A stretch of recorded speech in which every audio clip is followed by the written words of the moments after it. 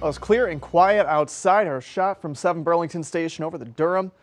Nice early sky. Beautiful color out there. A little cool, 38 degrees. Winds out of the south-southeast at about 10 miles an hour. Again, these are wind chills. This is what it feels like outside. Feels like the upper 20s and low 30s around parts of the metro toward Tekamah, Harlan, Atlantic. Feels like the mid 30s off to our south. So just a cool morning.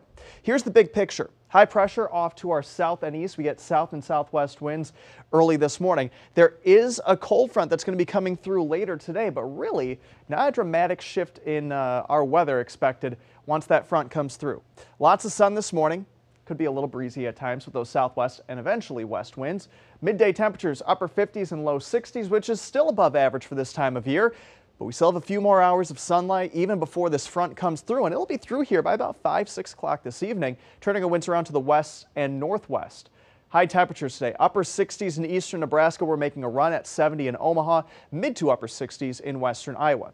Front drops south as we go through this evening. Again, not a dramatic drop in temperatures, upper 40s and low 50s by 10 o'clock, but eventually we will pull in some cooler air tomorrow. We get some high thin clouds coming in well behind this front, that filtered sunshine look, and then the clouds drop to our south tomorrow afternoon, a little more sun and a decently warm day.